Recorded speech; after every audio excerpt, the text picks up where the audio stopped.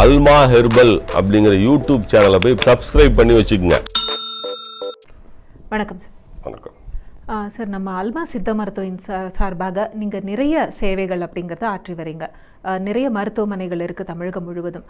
இப்போது பொதுவாக பார்த்தோன்னா நம்முடைய உணவு முறை மாற்றத்தின் காரணமாக இன்னைக்கு நிறைய பேர் இந்த குடல் புண்கள்னால் ரொம்ப அவதிப்படுறாங்க. அல்சர் அப்படின்னு சொன்னால் எல்லாருக்குமே தெரியும் ஐயா.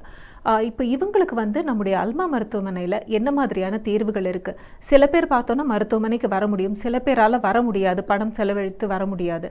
அப்படி இருக்கக்கூடியவர்களுக்கு வீட்டிலேயே செஞ்சுக்கக்கூடிய எளிய தீர்வுகள் எதுவும் சொல்ல முடியுங்களா? நல்ல கேள்வி. அதாவது எல்லோராலையும் மருத்துவமனைக்கு வர முடியுமா? என்றால் வர முடியாது. எல்லா இடங்களிலும் மருத்துவ வசதி இருக்கிறதா? என்றால் வந்து இல்லை. உலகிலேயே பல நோய்களுக்கு வீட்டினுடைய சமையல் அறையிலேயே மருந்து செய்யக்கூடிய ஒரே மருத்துவம் தமிழர்களுடைய சித்த மருத்துவம்தான். இந்த மருத்துவம் உணவே மருந்து மருந்தே உணவு என்று சொல்லுகிறது. இதுதான் இந்த மருத்துவனுடைய தாற்பயம் நீங்கள் சொல்கிற மாதிரி வந்து பார்த்தீங்கன்னா வந்துட்டு குடல் புண்கள் குடல் புண்களுக்கு எளிய மருந்துகள் சித்த மருத்துவத்தில் இருக்கிறது. குடல் புண்களை ஆற்றுவதற்கு. அதிமதுர சூரணம் ஏலாதி சூரணம் சுண்டை வெற்றல் சூரணம் கரிசலாங்கண்ணி சூரணம் என்கின்ற நிறைய மருந்துகளெல்லாம் அல்மா சித்த மருத்துவமனையில் இருக்கிறது. ஆனால் இது மருத்துவமனைக்கு வந்தால் பார்க்கலாம். எங்களுடைய மருத்துவர்கள் வந்து எல்லா இடங்களிலும் இருக்கிறார்கள். தமிழகத்தின் அனைத்து மாவட்ட தலைநகரங்களிலும் அல்மா சித்த மருத்துவமனையில் இருக்குது எளிய மருத்துவ வீட்டு வைத்தியம் வீட்டிலேயே எளிமையாக தெரிந்து கொள்ள முடியுமா என்று சொன்னால் பசும்பால்.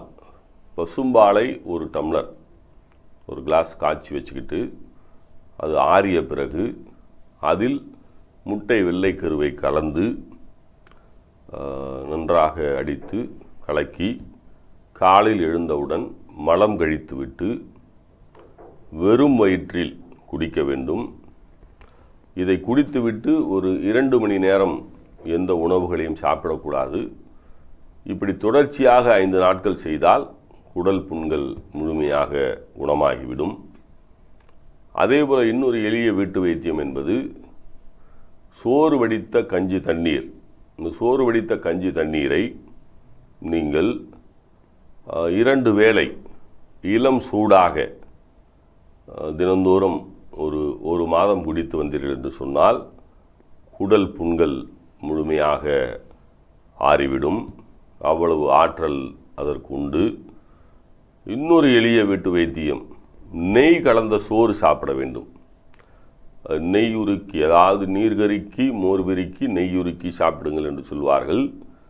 சுடு சாதத்தில் நெய்யை உருக்கி ஊற்றி அதன் சாதத்தை பிசைந்து ஒரு இரண்டு மூன்று பிடிகள் மெதுவாக நன்றாக வாயில் மென்று அதை நீங்கள் சாப்பிட்டீர்கள் என்று சொன்னால் குடல் புண்கள் நெஞ்செரிச்சல் போன்றவை ஆறிவிடுவதற்கான வாய்ப்புகள் இருக்கிறது.